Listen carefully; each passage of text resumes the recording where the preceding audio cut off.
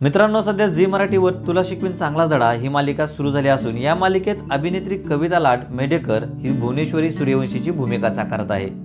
चला तर मग कविता लाडबद्दल जाणून घेऊया. कविता यांचा जन्म तेरा नोव्हेंबर एकोणीसशे त्र्याहत्तरला ठाणे येथे झाला. त्यांनी आपले शिक्षण हॉलीक्रॉस कॉन्व्हेंट हायस्कूल ठाणे येथून पूर्ण केलं. कविता ही मॅरिड असून दोन हजार तीनमध्ये आशिष मेडेकर यांच्याशी लग्न केलं आहे. आणि त्यांना दोन मुलं आहेत. त्यांच्या मुलांची नावं सनया मेडेकर आणि ईशान मेडेकर असं आहे.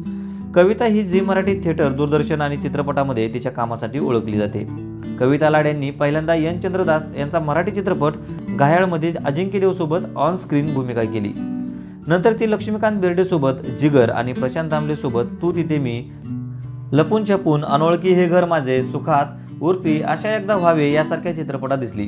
तिच्या अभिनयामुळे तिला नॅशनल अवॉर्ड मिळाला त्यानंतर तिने डॉक्टर श्रीराम लागू आणि वंदना गुप्ते यांच्या भूमिका असलेला सुंदर मी होणार या चित्रपटात काम केलं.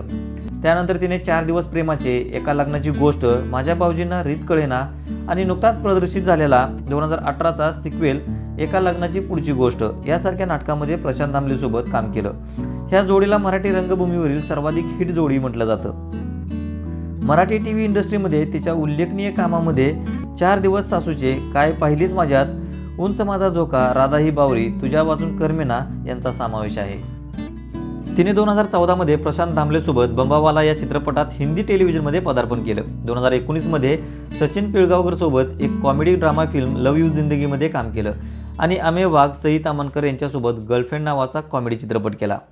तिने अनंत महादेवन दिग्दर्शित डॉक्टर रखमाबाई मध्ये प्रसाद ओक आणि तनिष्ठा चटर्जी यांच्यासोबत जयंतीबाईची भूमिका केली होती.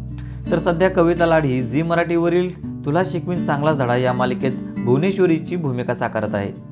तर मित्रांनो तुम्हाला कविता लाड यांचा अभिनय आवडतो का? तुमचं मत कमेंटमध्ये नक्की शेअर करा.